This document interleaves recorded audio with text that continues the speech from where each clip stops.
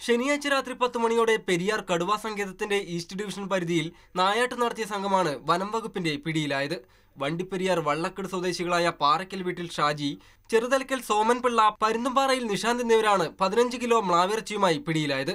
ഷാജിയുടെ വീട്ടിൽ നിന്നുമാണ് മ്ലാവിറച്ചി ആദ്യം പിടികൂടിയത്.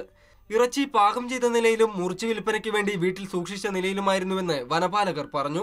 ഇയാൾ നൽകിയ മൊഴിയുടെ അടിസ്ഥാനത്തിലാണ് മറ്റുള്ള പ്രതികളുടെ വീടുകളിൽ പരിശോധന നടത്തി മാംസത്തിന്റെ ബാക്കി ഭാഗങ്ങൾ കണ്ടെത്തിയത്.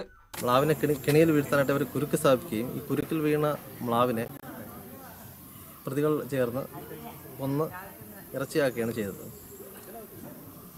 ഈ- നാലുപേരെ നാല് കൂടാതെ ഇനിയും ഏതാനും പ്രതികൾ കൂടെ നമുക്ക് ലഭിക്കാനുണ്ട്. വഞ്ചിവയൽ സർക്കാർ സ്കൂളിന് സമീപത്തെ പരുത്തിപ്പാറയിൽ സോമൻപിള്ളയുടെ ഉടമസ്ഥതയിലുള്ള കരിങ്കൽ ക്വാറിയിൽ കമ്പിയിൽ കുരുക്കുണ്ടാക്കിയാണ് മ്ലാവിനെ പിടികൂടിയതെന്നാണ് ചോദ്യം ചെയ്യലിൽ പ്രതികൾ നൽകിയ മൊഴി.